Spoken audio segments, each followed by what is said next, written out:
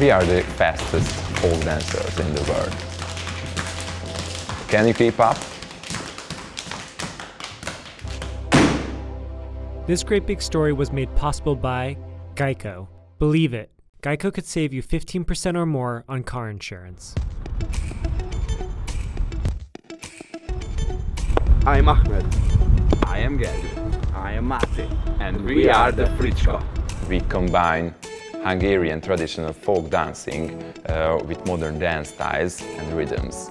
We started dancing about 20 years ago. Ahmed Musa is uh, one of my best friends. We grew uh, up together and Máté is my, is my younger brother, so, so we can't avoid each other.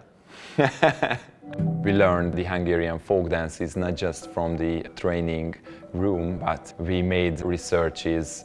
Hungarian folk dancing has got a big archive recordings and we learned dance from them. One of our biggest influencers is uh, Michael Flatley and the way he made Irish tap dancing world famous. He made 35 taps in one second we are Hungarian folk dancers. We use our feet and hands. Dance start with the basics. And after that, you can build up your own style. We need uh, a lot of practice for this. In common, uh, we uh, do 20 hours a week. In 2014, we set a world record. We hit and slapped 3,937 times in two minutes.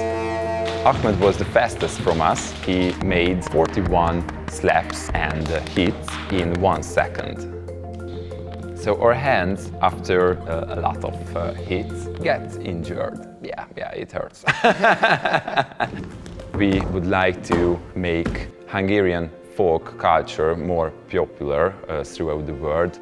We have got a great responsibility how we carry on and continue our heritage. We imagine our life with dancing and we imagine our future with Fricska.